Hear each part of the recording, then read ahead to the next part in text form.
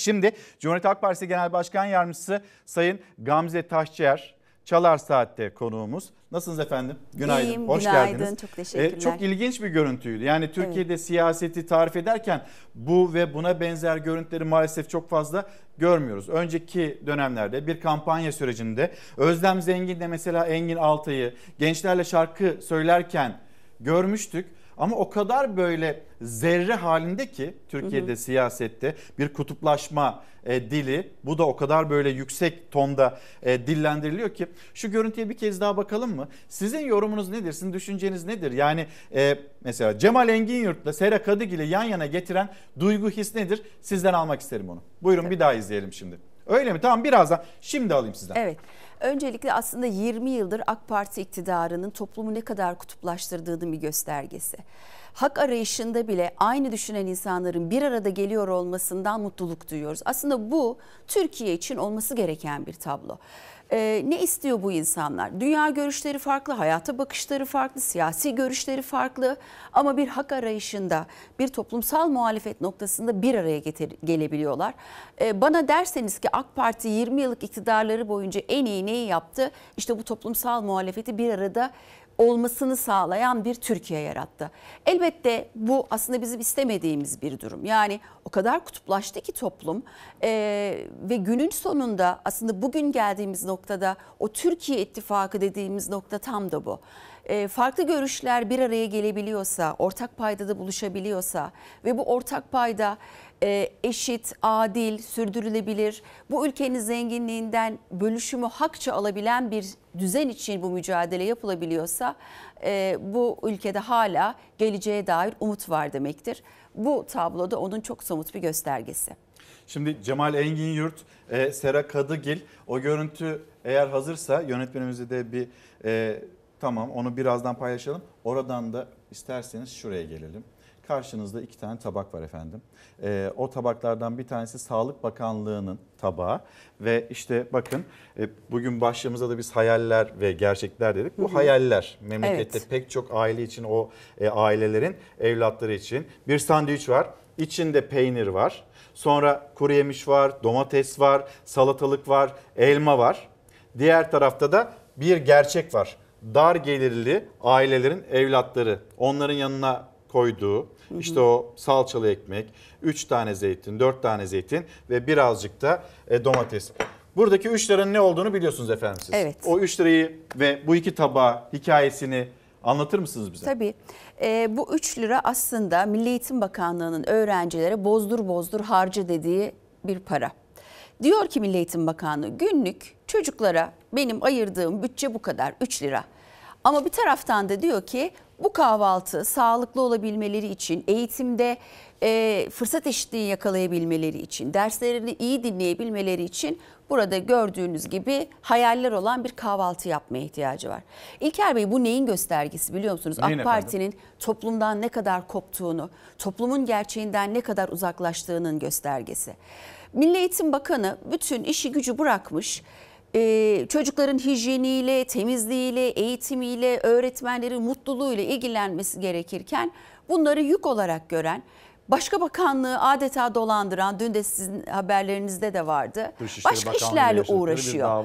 Evet süreci. ne dedi Milli Eğitim Bakanı? Dedi ki biz bu kahvaltı ya da bu yemeği versek bu e, öğle yemeği okullarda öğle yemeği verilmesi noktasında bir soruyor. Diyor ki biz versek öğrenciler bakalım yiyecek mi? Ya Sayın Bakan yani bu kadar mı uzaksınız gerçeklikten? Bu çocuklar kahvaltı yapamadığı için öğretmenlerden her gün şikayet geliyor. Baş ağrısı çekiyorlar, ağlıyorlar, derslere odaklanamıyorlar. Ya hiçbir şey yapmayın. Yoldan geçerken herhangi bir okula girin. Öğretmeni sorun deyin ki ya bu sınıfta yemek yiyemeyen, kahvaltı yapamayan öğrenci var mı? Emin olun sayısı karşısında bakan bile dehşete düşer. Ama bu kadar toplumun gerçekliğinden kopmasınlar. Biraz oturdukları o sırça köşkten aşağı insanlar insinler. Biraz toplumun dertleriyle dertlensinler. İşte aynen sizin dediğiniz gibi bu olması gereken ki ben iktidarın da hayalinin bu olduğunu düşünmüyorum. Siyaset bir tercih meselesi. Türkiye'de gerçekten yeterli kaynak var. Birazdan anlatacağım. Bu kaynağı siz çocukların, gençlerin, bu toplumun geleceğinin e, almasını istiyorsanız tercihinizi ona göre yaparsınız. Burada öğrencileri 3 lira reva görürken, görürken kendi yandaşlarınıza milyonlarca bu ülkenin kaynağını aktarırsanız bu bir siyasi tercihin sonucudur. Peki okullardaki bu hijyen tartışmasını siz nasıl okuyorsunuz? Bir el, gizli bir el, e, göstermeyin ya da belediyeler burada devreye girmesinde başarılı görünmesin. Bizim başarısızlığımız görülmesin diye mi okuyorsunuz? Yoksa bırakın biz yaparız zaten mi diyor Milli Eğitim Hiç de Bakanlığı? gizli değil. Bakın biz bu senaryonun aynısını nerede gördük? Pandemi döneminde gördük. Ya pandemi döneminde kurulan e, yardımların lokantalara el koydu bu iktidar. Maske dağıtmasına engel oldu belediyelerimizin. Yine depremde Cumhuriyet Halk Partili belediyelerin götürdüğü yardımlara el koyup günlerce depremzedelerin ulaşmasına engel oldu. Bile isteye yaptılar. İstiyorlar ki dertleri vatandaş değil. İstiyorlar ki kendi iktidarlarını korusunlar, kendi koltuklarını korusunlar. Bunun için de önlerine vatandaşı düşünen, vatandaştan yana engel tırnak içerisinde engel olabilecek bütün engelleri kaldırmak istiyorlar. Dertleri çocuklar olsa, dertleri hijyen olsa zaten bu ortaklaşmayı kendileri teklif eder. Olabilir. Der ki ya biz burada yeteri kadar bir iş yapamadık. Belediyelerimizle birlikte ortaklaşalım. Bu mücadeleyi birlikte verelim. Bu çocuklar hepimizin geleceği. Ama dert e, toplum değil, gençler değil. Dert kendi siyasi ikballeri olduğu için de açık, aleni bir şekilde e, bu şekilde fütursuzca davranıyorlar. Ama e, şunu da çok net bir görüyor, çok net bir şekilde görüyoruz. Ne yaparlarsa yapsınlar. Cumhuriyet Halk Partili belediyelerin hizmetlerini engel olamayacaklar. Bu ülkenin zenginliğini, o ilin, o bütçesini vatandaşa harcayacak, vatandaştan yana tercihte bulunacak bir Cumhuriyet Halk Partisi'ne engel olamayacaklar. Ama SGK nezdinde de bir tartışma koskoca genel bütçenin içinde belki ya da işte SGK bütçesinin içinde alınacaklar bütçesi içinde %3'lük bir pay belediyelerden alınacaklar. Hı hı. Ama yine de belediyeler hani burada bir sürü hizmet varken işte kent lokantaları, e, yoksullara yardımlar, koliler, işte okullar, hijyeni burada bir kaynağı da varken hani SGK'ya borçlar ödensin ve biraz da belediyeler iş yapamasın gibi bir anlayış da var mı? Ee, kesinlikle var. Neden? Ee, bakın 20 yıllık AK Parti iktidarları boyunca belediyelerin prim borçları ortalama 21 ayda bir ertelenmiş. Ne zamanki 31 Mart yerel seçimlerinde belediyeler AK Parti'den Cumhuriyet Halk Partisi'ne geçmiş, bakanlığın aklına gelmiş demiş ki bizim prim borçlarımız var. Peki hadi bu prim borcuna ihtiyacınız var. Bütün bütçedeki payı kaç bunun? Yüzde üç. Yani 96 milyar lira bütün belediyelerin geçmişten güne bugüne borcu var. Son 4 yılda 1,5 trilyon yani 1,5 e, 96 milyar borç var. 1,5 trilyon son 4 yılda işverenlere teşvik vermiş Sosyal Güvenlik Kurumu. Onu da geçtim. Bakın Sayıştay çok net bir şekilde bir rapor hazırladı geçtiğimiz günlerde. Nedir o rapor? Diyor ki sadece Sosyal Güvenlik Kurumu icralık davalarını takip etse bugün belediyelerden alacağının iki katı alacağı var piyasada. Takip etmiyor diyor alacağını. Yine hazineden tahsil etmiş alacaklarını deftere yanlış geçiriyor diyor. Yani açık bir şekilde usulsüzlük yapılıyor diyor. Kendi alacaklarının farkında değil diyor. Kamu konutlarının satışlarında usulsüzlük var diyor. Yani kamu konutlarının nasıl satıldığı, kime satıldığı, ne kadara satıldığı hiçbir şey belli değil İlker Bey. Ya bu yolsuzlukların peşine düşse zaten Cumhuriyet Halk Partili belediyelerden alacağı borcun kat be katı geri gelecek zaten. Kaldı ki O zaman buradaki maksat ne? e, hemen şunu da söyleyeyim onu da tamam. ifade edeceğim. Kaldı ki belediyeler bir kamu kuruluşudur. Kar gütmezler. Kar gütmedikleri için zaten sistemde açıkları olması, sisteme borçları olması gayet normaldir. Ve kamu kurumları arasında bu şekilde senin bana bu kadar borcun var hemen bunu öde gibi bir hani özel sektör ve kamu arasındaki ilişki gibi bir ilişki olamaz. Nihayetinde her ikisinin de ortak amacı kamuya hizmet etmektir. O nedenle buradaki niyet ne? Buradaki niyet Cumhuriyet Halk Partili belediyeleri bütçesel anlamda zora soktuğunu zannetmek ve bu nedenle de yapacağı işte kent lokantaları gibi, öğrencilere destek gibi, ihtiyaç sahiplerine aylık yakacak et yardımı gibi desteklerin önüne geçmek. Ama ee, yine ifade ettim. Bunu daha önce de denediler, pandemi döneminde de denediler, deprem döneminde de denediler. Başarıya ulaşamadılar. Aksine yerel seçimlerde toplumun tokatını sandıkta açık bir şekilde hep birlikte gördük. Şimdi maalesef biz bunu e, narin cinayeti üzerinden konuşuyoruz ama toplumsal bir travma da yaşıyoruz. Bunu belki de ekonomi üzerinden de tarif etmemiz gerekiyor. Bu tür durumlarda e, o travmayı aşabilmenin panzehiri de dayanışma. Az önceki görüntüye tekrar geri geleceğim. Cemal Engin Yurt ve Sera Kadıgil e, onların yan yana gelişi aslında bir dayanışmanın görüntüsü. Tekrar bir o görüntüye dönelim. Sonra sonra e, sizleri Kayseri'ye götüreceğiz. Bir sucuk partisi vardı hatırlayacaksınız. E, bunlar Kayseri palamudu diye e, yerliye yerliye insanların yüzüne de böyle e, sucuğun dumanını da estire estire bir mangal partisi vardı. Siyasette çok konuşuldu tartışıldı. Şimdi nasıl bir adım atılacakmış? İlginç bir haber. Ürdünlü firmaya sesleniyorum. Bugün Recep abin seni koruyor olabilir. Bir gün iktidar değiştiğinde bu işçinin hakkını senden sormazsak Allah hesabını bizden sorsun. Böyle zulme devam ettikçe kazanan olmuyorsun. Bak 45 yıllık Cemal Engin Yurtu bile Sera Kadıgil'le komünistlerle beraber eylem yapar hale getirdin.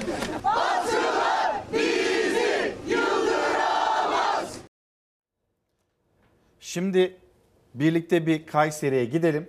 Kayseri'deki o Sucuk Partisi ve Sucuk Partisi'nin ardından çokça eleştirilen Kayseri Büyükşehir Belediye Başkanı'nın e, yeni adımı. Halka da Kayseri Palamudu diyeceğiz.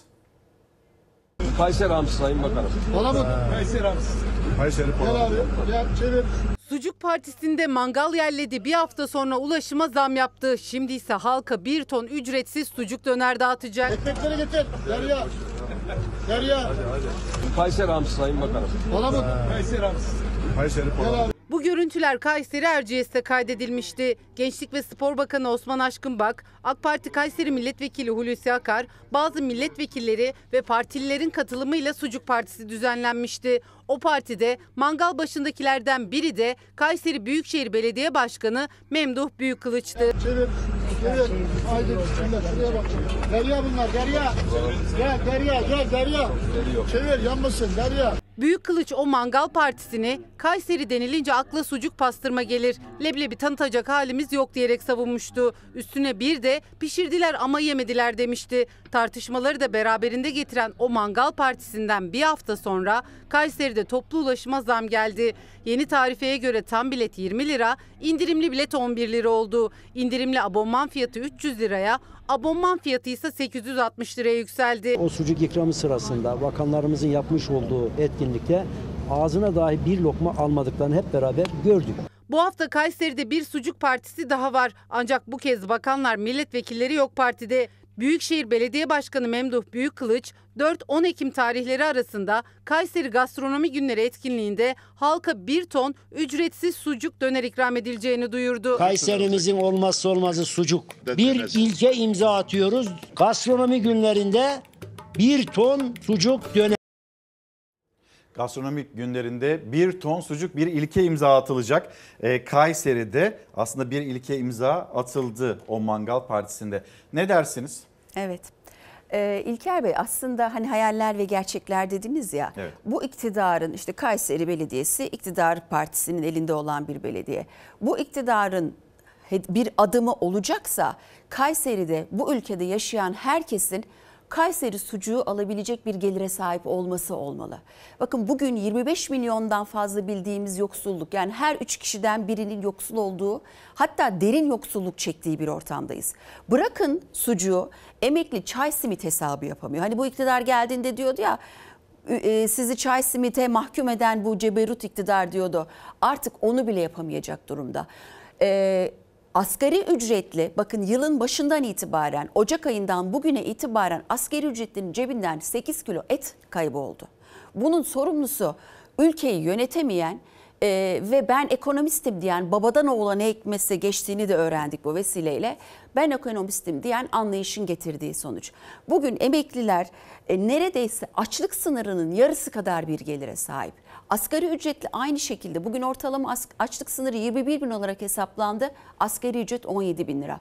Ve şimdi aklımızı alay ederler gibi bir de e, orta vadeli bir plan ortaya koydular. Dediler ki biz e, yapacağımız zamları artık bundan sonra enflasyon hesabını gerçekleşen değil bizim hesap ettiğimiz, öngördüğümüze göre yapacağız. Bu ne demek biliyor musunuz? 1 Ocak'ta asgari ücretliye %17 zam yapacağım demek. %17 zam yaptığında 21 bin lira olacak 1 Ocak 2025 itibariyle asgari ücret. Ne demek bu? Daha bugünden açlık sınırının altında kalacak bir ücretlendirme demek. Şimdi e, iktidarın zihninde ya da e, olur verebileceği rakam nedir? Bir kez daha söyler misiniz? o asgari ücret? %17 diyor ki ben 2025 yılı için benim öngördüğüm enflasyon %17.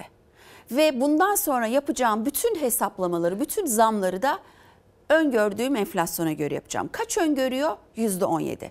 Peki 2024'te kaç öngörüyordu? %41. Gerçekleşen enflasyon TÜİK rakamlarına bile 45 göre 45. Gıda enflasyonu %80 2024'te yaşadığımız. Bakın konutlara %120 zam geldi 2024'te. Ulaşıma aynı şekilde. Barınmaya %120 oranında zam geldi. E, hükümet ne hesapladı? %40. Yani bu mantıkla davranırsak eğer e, gerçekleşen enflasyon hükümet %17 hesaplarken en az %50, %55 çıkacak. Hiçbir Peki zaman %17 tutturamıyor. olarak hesaplandığında asgari ücret ne olacak? Bir kez 20 daha bin lira olacak. 21 bin lira. Evet şu bugünün açlık sınırı. Yani daha 4 ay sonrasında şimdiden asgari ücretli açlığa mahkum edilecek. Sizce olması gereken ne? İnsan onuruna yarışır bir ücret olması anda bir lazım. rakam Şu söylemiyorsunuz anda ama- evet yoksulluk sınırı 66 bin, açlık sınırı 21 bin lira. 4 kişilik bir ailenin geçin, asgari bir şekilde geçinebilmesi için insan onuruna yarışır bir ücret politikası düzenlenmesi lazım. Kaldı ki sadece bu da yetmez. Bakın bugün çalışanların ücretli çalışanların %50'den fazlası asgari ücretle çalışıyor. Bu da kabul edilebilir değil. E, bugün e, Türkiye'de zenginlikte ortaklaşması gereken bir Türkiye yaratması gerekirken iktidarın yoksullukta hatta derin yoksullukta ortaklaştırdığı bir Türkiye. AK Parti iktidara geldiğinde bakın memur emeklisi asgari ücretin yüzde 40 daha fazla maaş alıyordu. Yani hiçbir şey yapmasa, gölge etmese mevcut iktidar şu an bir memur emeklisi 24 bin lira e, bir emekli, memur da değil bir emekli bugün 24 bin lira maaş alıyor olacaktı. Bugün 10 bin liraya mahkum edilmiş durumda. Şimdi o zaman emekliler dediniz. 2024 emekliler senesi bir oraya geçiş yapalım. Ayrıca e, izleyicilerimiz şunu da merak ediyor. E, Bilal Erdoğan ben ekonomistim dedi EYT konusunda kandırıldık dedi. Yani siyasetin popülizmine kandık biz de dedi. Bu bir kandırmaca mıydı? Böyle bir kaynak var mıydı aslında memlekette? Kademeli emeklilik konusunda Cumhuriyet Halk Partisi ve e, Özgür Özel'in gölge kabinesinin çalışma bakanı Gamze Taşçıyer acaba ne düşünüyor? O sorulara da geçiş yapalım. Fakat önce emekliler. Ben çalışmasam geçinemem, yaşayamam diyen meydanlardaki emekliler.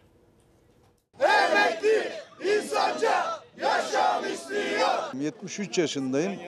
İstanbul trafiğinde servis şoförlüğü yapıyor. Çalışmasam geçinemiyorum. Sabah 6'da çıkıyorsun, akşam 8'de eve geliyorsun. beyin atar damarında pıhtı sebebiyle çalışamıyorum.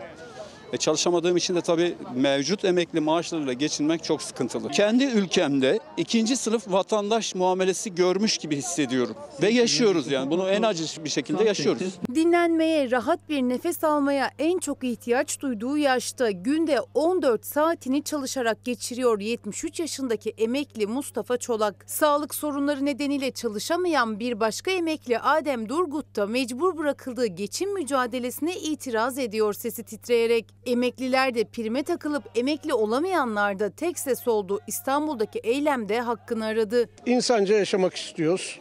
Yıllarca ödediğimiz primlerle de bunu fazlasıyla hak ettik. Diğer ülkelerin emekleri başka ülkelere tatile gelirken biz kendi memleketimize gidemez haldeyiz. kiramı ödeyemem. Geçimimi temin edemem. Yani ya bakım evine gitsen orada bakılamazsın. Böyle bir haksızlık olmaz. Böyle bir zulüm olmaz. Tasarruf tedbirleri diyorlar. Saray bilmem kaç bin kişinin bir saniyede maaşını yutuyor. Onlara tasarruf yok. 2024'ü emekliler yılı olarak ilan ediyoruz. 2024 yılı emekliler yılı olarak ilan edilse de emekliler aradıklarını bulamadılar, geçinemiyorlar. Diğer taraftaysa eksik EYT yasası nedeniyle geride kalanlar var. Hem emekli olamıyorlar hem de bir iş bulup çalışabilecek kadar da genç değiller. Hepsinin ortak sıkıntısı geçim sıkıntısı. İşte bu nedenle İstanbul Kadıköy'de seslerini duyurmaya çalışıyorlar hep birlikte. En düşük emekli maaşı asgari ücretin altında olamaz. Ancak asgari ücret de bu rakamlarda kalamaz. Biz kimseden sadaka istemiyoruz. Dilenci değil. Emekliyiz biz emekli. 30 sene sonra bize getirip de emekli maaşı değil emekli harçlığı vermek o iktidarların ayıbıdır. Bizler yıllarca çalıştık, vergimizi ödedik, peşin peşin ödedik. Emekliğimize rahat edelim diye, sürünelim, çöp toplayalım diye değil. 5000 prim günüyle EYT yasasından faydalanma sözü verilen, kredi çekip borçlanan ama EYT'ye dahil edilmeyenler de borç yüküyle baş başa kaldı. Bankadan faizden çektiğimiz için 70 bin lira olarak ödedik. Biz dönemin bakanına Vedat Bilgin'e güvendik. 8 Eylül 99 öncesi prim gün say şartını değiştirmiyoruz. 5000 ve 5400 onu değiştirmiyoruz. Kandırıldık ya. Bakanımıza güvenmeyeceksek kime güveneceğiz? Halen o borcu ödüyorum. Tas tamam çıksın bu yasa. Adalet varsa tas tamam çıksın bu yasa. Bir yasa çıktı. Ee, hala böyle bundan faydalanamayan ya da sorun yaşayanlar da var bir tarafıyla. 2024 emekliler senesi nasıl geçiyor emekliler açısından? Ee, iktidara göre gayet iyi ama emekliyi görünce, emekliye bakınca gerçekten içler acısı. Artık nefes alacak durumu bile kalmamış emeklinin. Sokağa çıkıp bir e, çay içecek parası yok cebinde. Maalesef bu iktidarın aslında her seferinde bir suçlu arayışının e, bir diğer günah keçisi de emekliler oldu. Emeklilikte yaşa takılanlar oldu. Oysa gerçek öyle değil İlker Bey. Bakın e, her seferinde diyor ya işte EYT'liler bu bütçeye borç yük oldu. İşte büyük ekonomist Bilal Erdoğan da aynı şekilde söylüyor. Bu arada kendisi de EYT'den yararlandı.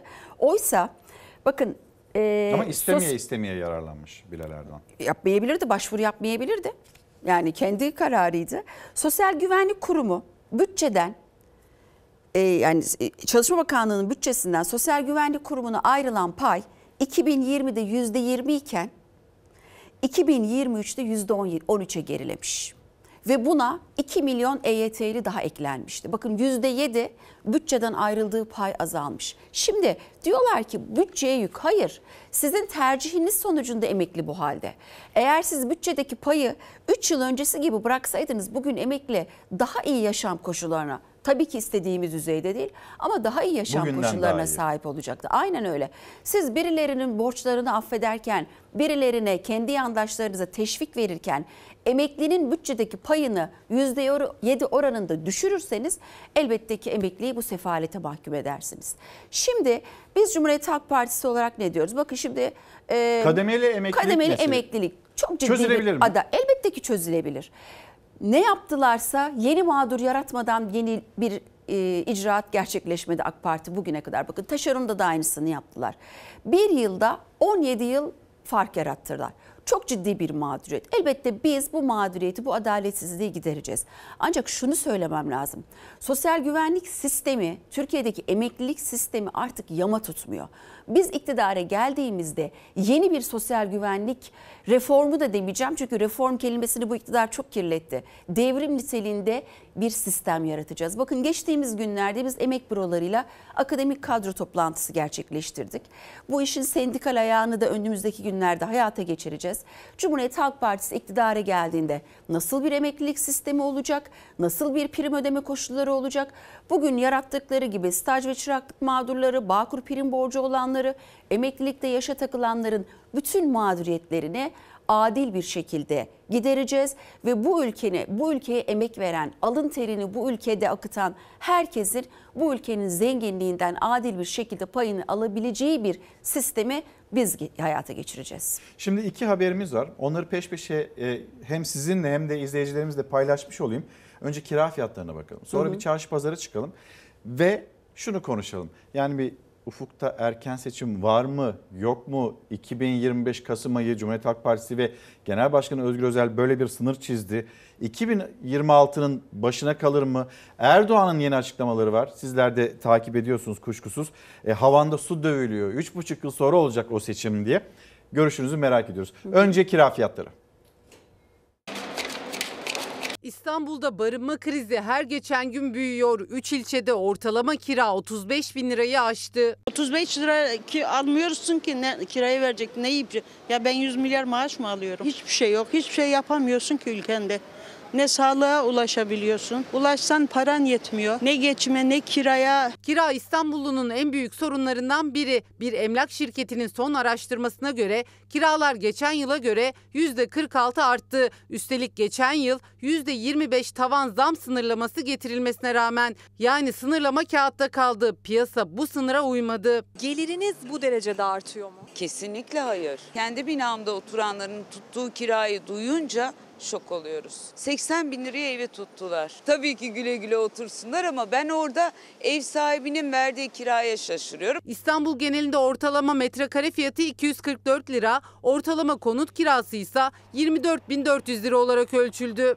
Bazı ilçelerde ortalama kiralar 35 bin liraya aştı. Miami'den bile daha fazla yani kiralar. İnsanların aldığı maaş belli. Bunların da alıcısı var mı? İlçe bazında incelendiğinde en düşük kira ortalaması avcılarda. Bu ilçede ortalama kira 16 bin lira. Avcıları 16 bin 100 lirayla Sultanbeyli ve 16 bin 400 lirayla Esenler takip ediyor. Ben de hakikaten hayretle karşılıyorum nasıl veriliyor kiralar. Mesela bizim orada Etiler'de de hiç boş daire yok. Ben doğma büyüme oralıyım.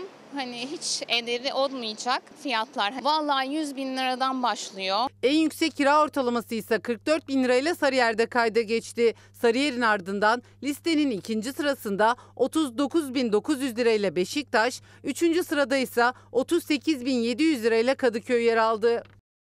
Efendim şimdi de çocuklarımız için aslında çarşı pazara çıkacağız. Mevsim sebze meyveleri fiyatlarına bakacağız. Yalnız bu haberin içinde 55 yaşında bir büyüğümüz var. Onun sözlerine dikkat edin.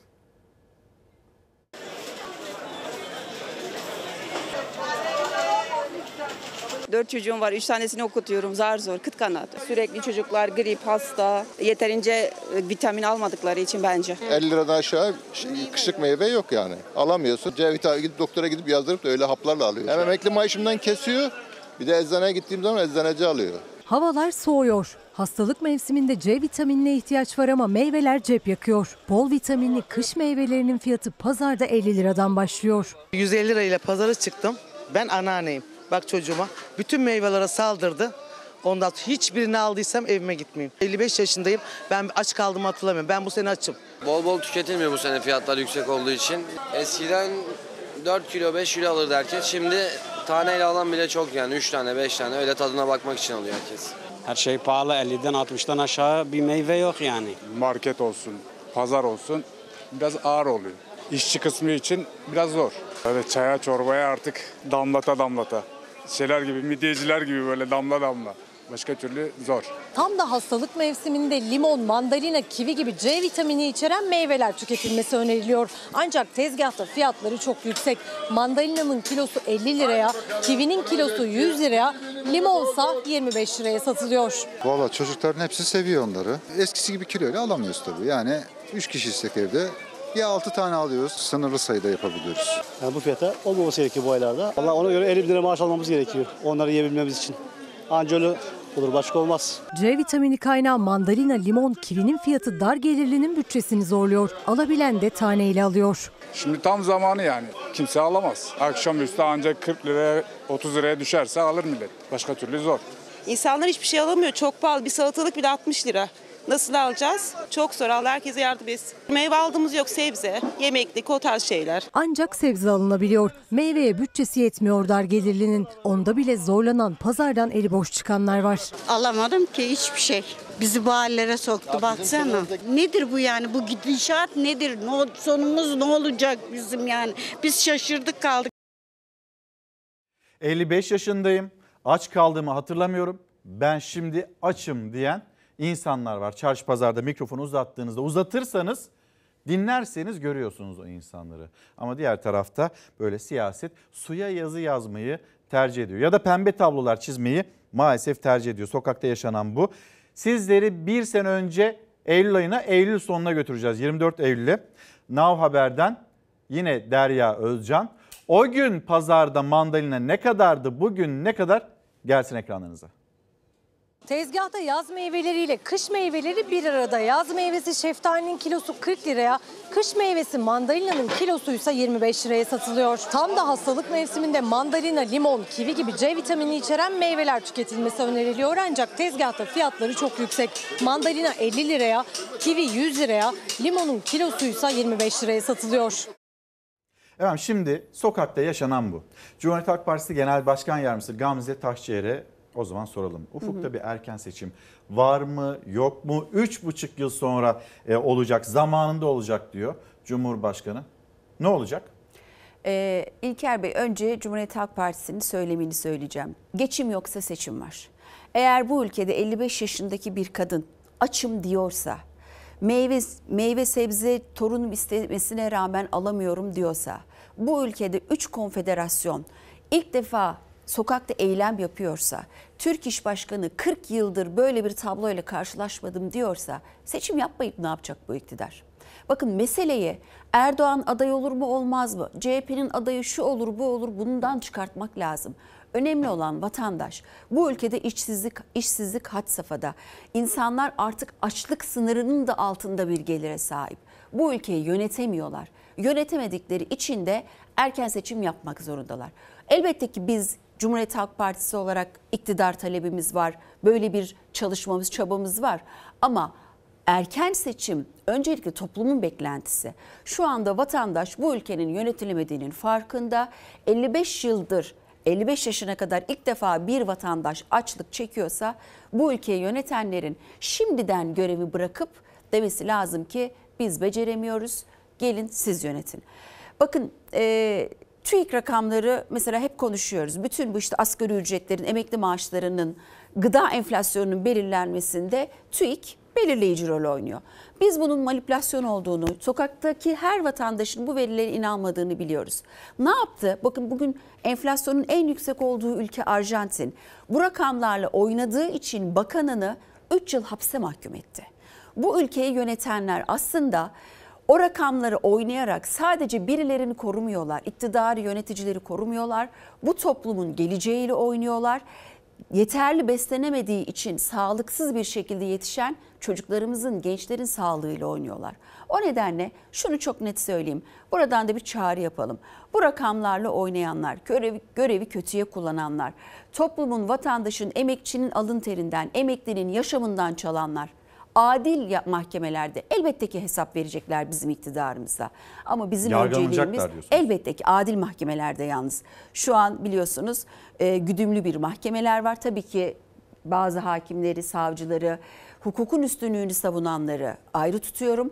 Ama iktidarın sopasını elinde tutan yargıçlar, e, TÜİK görevlileri, diğer kamu görevlileri görevi kötüye kullanıyorsa, vatandaştan değil, hukukun kendilerine verdiği talimattan değil de saraydan aldığı talimatlarla hareket edenler elbette ki yargı önünde e, gerekli hesabı verecekler. Ancak bizim yine söylüyorum önceliğimiz bu ülkede yaşayan her bir yurttaşın asgari yaşam koşullarını sağlayacağı, insan onuruna yaraşır bir hayat süreceği ve geleceğe sağlıklı bir şekilde güvenle bakacağı bir toplum yaratmak. Bakın o kadar acı verici ki C vitamini alamıyor. Ben bir eczacıyım, bir sağlıkçıyım aynı zamanda. Bugün beslenemeyen bir çocuğun aslında bu ülkeye maliyeti, maddi maliyetten bahsetmiyorum maliyeti o kadar yüksek ki bugün yaptığınız, beceremediğiniz ekonomi politikası aslında sizin nesiller nesil nesiller boyunca aktarılacak çok ciddi sorunlara sebep oluyor. O nedenle biz bir an önce erken seçim diyoruz ve bunun içinde bir milat verdik. iki buçuk yıl. Yani Kasım ayı 2025'in Kasım ayında. Çünkü bu saatten sonra yapacak yapılacak her bir erken seçim birilerini koltukta daha fazla tutabilmenin hesabıdır. Bu vatandaşın sorunlarını çözme derdi değildir. Biz bu e, suça ortak olmayacağız. Yapmak istiyorlarsa biliyorsunuz erken seçim yapabilmesi için Cumhurbaşkanının yeniden aday olabilmesi için e, meclisin erken seçim kararı alması lazım. Bunun için de 360 oya ihtiyacı var. AK Parti ve MHP'nin şu anki parlamentodaki hesabı bunu tutmuyor. Mecbur muhalefetten de destek alacak. Bizim bu anlamda çağrımız çok net. Eğer Cumhurbaşkanı Erdoğan yeniden aday olmak istiyorsa Kasım 2025'e kadar bir seçim takvimi açıklamalı. O açıklamayacaksa da biz erken seçim taleplerine o tarihten sonra olumlu yanıt vermeyeceğiz Cumhuriyet Halk Partisi olarak. Ya mesela e, 2026'nın sonbaharı denilse buna destek olmayacak mı CHP'den? İşte iki buçuk yıl milat. Bu tarihten sonra verilecek her bir tarih birilerini o koltukta daha fazla tutabilmek içindir. Biz ona ortak olmayacağız. Efendim çok teşekkür ederim. Ben Geldiniz, teşekkür ediyorum. anlattınız. Bir taraftan e, çocukların hijyen e, koşullarını konuştuk okulları. E, hayaller, gerçekler, iki tabak üzerinden bir Türkiye tahlili yaptık. E, işçiler, o işçilerin buluşmasında Cemal Engin Yurt'ta Sera Kadıgil'in nasıl yan yana geldiğini, e, işte dağıtılan sucuğu. Son bir söz, son bir cümleniz varsa almak isterim bu buluşmada. Evet her şeye rağmen bu ülkenin daha güzel günler yaşayacağına olan umudum tam. O nedenle vatandaşlarımız da elbette ki çok kara günler yaşıyoruz ama bunun sonu muhakkak aydınlık. O aydınlık da Cumhuriyet Halk Partisi'nin iktidarında olacak. E, Cumhuriyet Halk Partisi Genel Başkan Yardımcısı Gamze Taşçıer Çalar Saat'teydi. Türkiye'nin gündemine birlikte baktık. Emeklinin, çalışanların, çocukların